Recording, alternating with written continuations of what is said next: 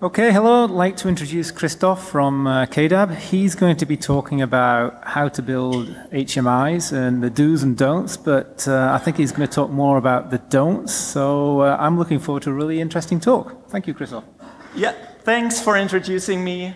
Um, I'm from KDAB. Uh, this talk will be about three major points. First thing is, what's the difference between embedded programming and automotive programming? So how do we fail differently in these situations where we have an automotive context? Second point, first know the rules, then break them. But first know the rules. And the third one is uh, these turnkey programming setups and fast turnaround times. These are the things that win your game. Here's where you can shine and win the game in the automotive context. So why am I giving this talk? Well, I'm working at KDAB for some years now on automotive projects, and I've seen different kinds of uh, approaches to architectures, and here's just what I think about architectures uh, in the automotive context. Okay, so what's the difference with automotive um, compared to embedded? Is embedded the same as automotive? Is it not? Well, compared to desktop, embedded means a little bit more work for you as developers, right? You have platform building, you have cross compilation, you have these like hardware limitations of your uh, devices that are actually a little bit slower than your desktop computer. And now that you put your uh, software there, it's suddenly slow. And then you have the maybes. Sometimes you have to interact with custom hardware. You have um, CNC machines that are attached to your embedded hardware. Sometimes you need fast startup times for your camera to instantly shoot the next photo. You have multimedia phone integration. For medical devices, you have real-time and certification. And for automotive, you have kind of all of this. Like all of these maybes become a definitely. And definitely and um, extra to this, uh, there's also external applications. Like um, external applications coming from other vendors to your application, compositing, you have hands-free interaction that are now in the car, you have a changing environment, driving that car from Alaska to um, Arizona. But what's really different here is the size of the project. You have significantly more screens, more settings to handle, larger team, and more parties to integrate into your process. So be aware of that increased size and complexity. There's two things that is really a problem here with this complexity. There's the cross-cutting concerns that go over all the modules that you're now having, these gazillions of screens that you're having for your automotive um, software there. Um, that can be styling, that can be user and role management, or it can be something that is, uh, needs to be reachable from everywhere, like searching. You want to go to that place in an instance. And then you have the interaction between the parts, um, uh, such as data transfers, uh, notifications. Bad thing is these things only show up at the end of the project. Then this is when you have all the complexity accumulating, and this is where you have that exponential uh, increase in complexity because everything needs to interact with everything else. Okay. These may, might be contracting forces that um, aim for a, a, monolithic architecture for your overall software, but actually you have lots of teams and need to spread it over many com uh, companies and parties. So just let me give a word on styling. Think twice if you want to include styling into your framework. I know that, and, and with styling I mean theming in these uh, cases. Yeah? Um, sometimes you can like, have nice animations and changing views of your uh, application done in QML, but that's not styling. What I mean is more theming, like exchanging the look and feel of your application. And this is actually something that is a lot of times um, aimed for and in the end is dropped because it's actually something uh, that cannot be upheld because it's that big of complexity that spreads over your whole application. So think again if you want to have styling. Okay. On another point in styling, I often see these engineering styles here uh, something like, okay, I put a rectangle around everything and I put a rectangle around my anchors and then I put a lots of text inside and want to see what my properties are of my elements. Please don't do that. It's very tempting to do that into all components, but this is also a cross-cutting concern that actually kills your performance in the end. Use GammaRay, the tool you will find, uh, find in our um, booth there. You can inspect everything like in the Chrome browser, you inspect your website. Um, use GammaRay, um, it is free and you can just uh, download it from GitHub. Okay. Then you have different functionality. Sometimes you want to make that decision, do I do A or do I do B? So what you do in this context is don't change your QML, but change your data origins, change your models that are behind that. And then you can go ahead and filter. Think of all the stakeholders. Manufacturers want the manufacturing view. Retailers want the retailing view, maybe a demo mode. Technicians need something to see the specifics of the car. These all can be um, done with models and filters and then just show up in the points in the QML UI. Okay about the hardware. Your hardware will be slow, but your hardware will be differently slow than you expected. You expect it to be something like the CPU is just um, 600 megahertz or just a gigahertz instead of my 3 gigahertz that I have on my uh, PC um, here where I'm developing. But there's other stuff that is actually way more uh, intense there, which is the I.O. and memory footprint. Oftentimes, these are your key uh, pain points that you have. The HMI startup, there shows up. Most times it's uh, limited by I.O. Screen and view changes, uh, background processes suddenly making your UI uh, slow. And my statement here, and you might disagree, is that there's no inherent algorithmic complexity in car HMI. It's just the memory footprint that kills you and the performance in the end uh, when you come to the end of that project. Okay. So one thing to really uh, look at is to follow the path of memory. I just took the example of, a, um, of, a, of an image. The image comes from the designer and goes to the screen in the end.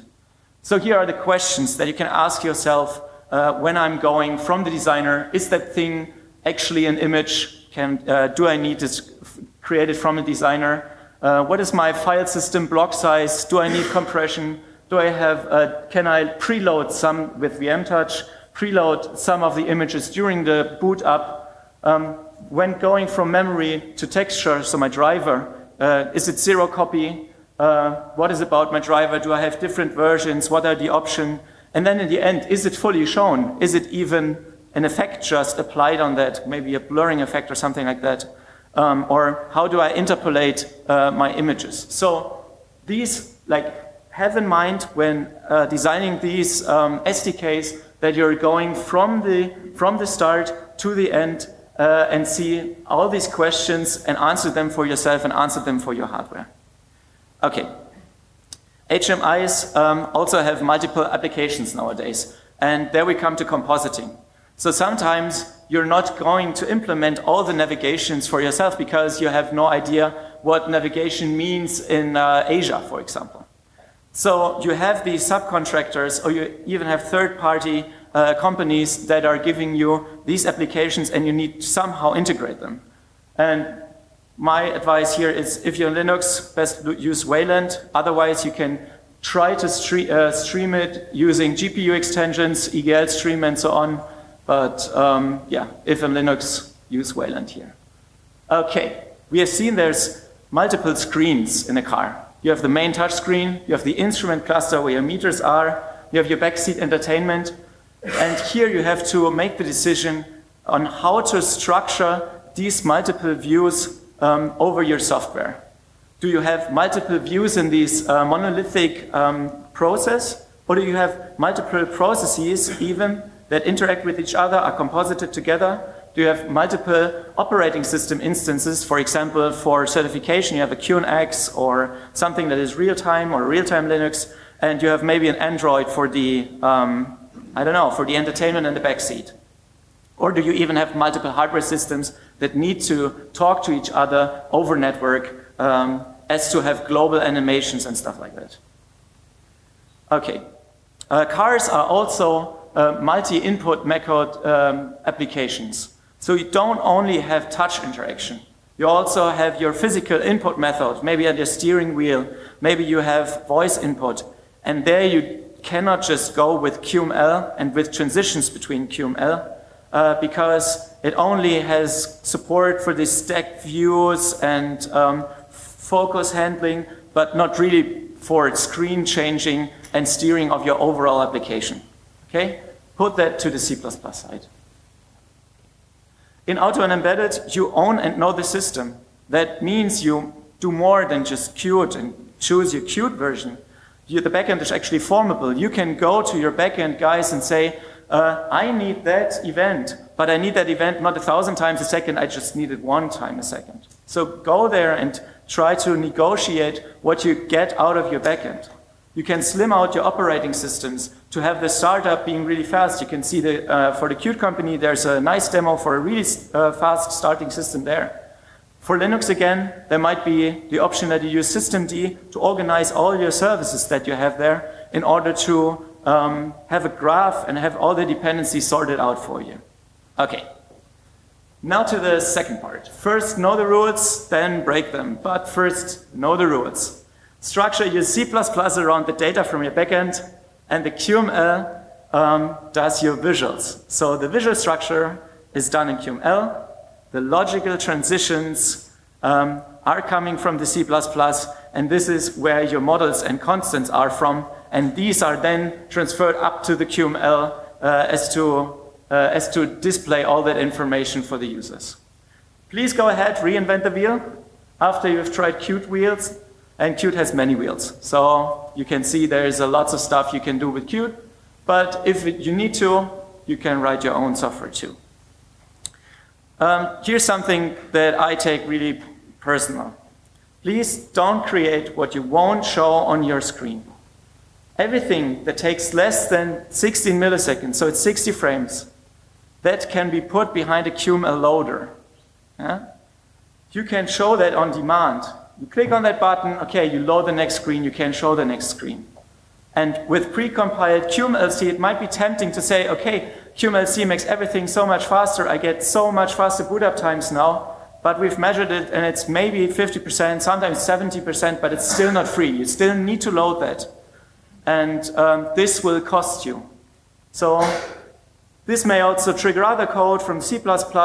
And what's really hard for that is that startup phase that you wanted to make faster initially actually becomes less deterministic and less analyzable because you now have everything that now goes in random order and you don't have the way, just the path to your first screen. Okay. But you can also break that rule. You can still load some things up front. Some things that you usually reach within one click every time. Uh, this might be the slide outs that you have here. That might be no, a general notification center where just exchange um, the message and then make it visual. Or uh, these are the virtual keyboards, or if you're in a, like a wizard-like application, um, the next screen. You know the thing that the user sees next will be a next screen, so you can preload that. But please do not preload everything. There's a lot you can take from Qt, but there's also a lot that you can make on your own to make it a little bit faster. So from my experience, the QML shader effects are sometimes slow when you have embedded hardware. They were designed to have like a, a nice design experience there. They're actually optimized, but especially when you're trying to cascade shaders to reach some goal, to, to display something in a, in a certain way, um, think twice and maybe um, build it again. Build something that is just one shader uh, and build it into one uh, effect that's your own. Uh, the same goes with particle effects. And depending on your hardware, there might be a trade-off between pre-rendered images or even image sequences that you have uh, uh, compared to effects and um, um, effects or animations that you have. Sometimes an animation is just too complex. If you have a, a low-end GPU, but a good I.O. system, then you might want to have these pre-baked image sequences to do your animations. Okay. You can have a stable Qt version, you can have a new Qt version, but usually your boss tells you to have a stable Qt version. So it's long-term support, it's well tested, and there's a lots of long-term support versions coming up, like at least like every two years or so for Qt. So if the new long-term uh, support version comes, please ask your boss to switch. You will have improved performance. Actually, um, porting everything uh, might be a little bit um, more easy because it's just uh, a few changes you need to do there from like minor versions or like even major versions. Like 45 is a big change, but 5, uh, but 5.3 uh, or 5.6 to 5.8 or so, that's absolutely doable. And um, you can even go um, and try out an experiment. I've seen projects where they use open source GPU drivers instead of the vendor's GPU drivers, and they're still good and they release their product. So try and uh, find out what's new and if it's worth it. Okay. Not everything will be Qt, right? So you will have your data flowing from your backend, from your CAN bus, libs and drivers, maybe through protocol buffers. And at all these points, uh, the data needs to be re-evaluated. Maybe it's a polling Maybe there's type conversions and checks. And there's that new thing uh, called Qt IVI, uh, which enables you to at least have the Qt world uh, in kind of a unified um, API for all your uh, values that you have there. You have rich types there. That means you have value ranges, you have defaults for values, which make it easy to mock um, your backend when you don't have a uh, backend available yet, or to mock something that is really hard to simulate. For example, there was a crash and the airbag went off. You cannot check that every day. But here you can override these values, these uh, properties, and check how your application reacts to certain property changes. Okay, third point, last point. Fast turnaround times and turnkey programming setups win the game. You want to have your tools ready at what I call the fan out. You've seen there's many parties included in uh, uh, application development when it comes to automotive software. First, you have your planning team planning years ahead. Then you have your core teams um, developing your SDKs. And in the end, you have uh, your outsources and all the development teams bringing into the uh, project. And this is where you want to have your SDK ready. Your build tool, deploy tool, and run tool should be this, and not more than this. Otherwise, you will spend every second weighted 100 times over your whole development crew. Okay. So what does a typical 2017, 2018 automotive SDK look like? You have C++ and Qt on the one hand with a custom Qt creator with Qt Automotive Suite. You have static checkers you have Valgrind to check your code, you have the Qt emulator, I'm talking about this in a second, and you have GammaRay to inspect your application as to not write all these debugging uh, output that I've talked before. So uh, on the Linux uh, world, you, if you have Linux, uh, then it's probably Yocto build. You build it on your own. So you have a dev version, a trace version and a product version. Development version has all the tools that your developers will need, like profiling tools like perf and so on. Trace version is a kernel that is instrumented as um, such that you can see what's going on in that kernel. Linux tracing tools, next generation, is a good tool to have here. And then you have your product version, which is slimmed down to what you have, uh, usually also fitting into your memory, which is oftentimes limited. And uh, for the CI, you probably have Git and a gazillion submodules, just seen it that way. Um, Squish CI and uh, for GUI testing and a regular CI for um, just unit testing. Okay, you have no hardware. It's no problem with Qt Automotive Suite. We have an emulator right now. And this is, um, this is where you can have um, uh, a virtual machine running your application and um, on, on the target hardware, which is emulated, uh, and you even have like a software version of hardware buttons around that. So you can try that out. What happens if I had that, uh, hit that hardware button, which is in software, in the emulator? So it's often times I saw that like half of the team or even just a quarter of the team had actual prototypes for their development. With this, everyone can have that at least on their desktops and try out a little bit more uh, realistically how the software um, performs. And Qt Automotive Suite also comes with, I, I would say, more than 10 ready to run images for the usual boards, like for Raspberry Pi or something, just to try out your applications there. Okay. Last thing, actually goes without saying, but I say it again, have fast development cycles. Every second waited is worth eliminating there. If you have a bug and a programmer is sitting on that bug for days and days, he needs to uh, fire up that applications hundreds of times. So see that you have differential updates when he, is putting the, he or she is putting the code there. Um, maybe have instant navigations to the problem screen. So when you start up the application, you can directly go to that screen and see that screen where the bug is actually happening and write, see whether it's fixed now or not. And also, if there's lots of delay in between, it hinders the willingness of the developers that just get frustrated to try out something new. If it just takes some seconds and pressing that green button, then I'm willing to try something else or uh, willing to try that other fix that I have in the back of my mind. Okay. It's also true for device flashing. Try to be uh, fast with your flashing and have um, hardware images ready for your whole team at least the next day. Please have a fixed naming scheme for that. Have something like a, a sheet or a form they can fill out and say, uh, okay, I want the Linux in this version, let's say Linux here, uh, backend in this version, Qt with these patches, and our software in this version, and I want that image by tomorrow. Because they need to try out something new every day. And I think with um, um, tools like Yocto, it's even possible to do that in a semi-automated fashion. So you can actually have all that changes at least by the next day to try out everything uh, new. Just let your um, developers explore whether it's faster to have a new Linux version, to try out the new version of the backend that is just coming from the suppliers, or have the new patches in Qt that make it even more performant, for example. Okay, last point on my slide. Please don't invent your own build system. Use something that is already existing. I know that's a great thing to want, but in the end, I often saw that there were gazillions of scripts um, that are plugged into each other and uh, kind of make the build system of your software or the cross-compile system.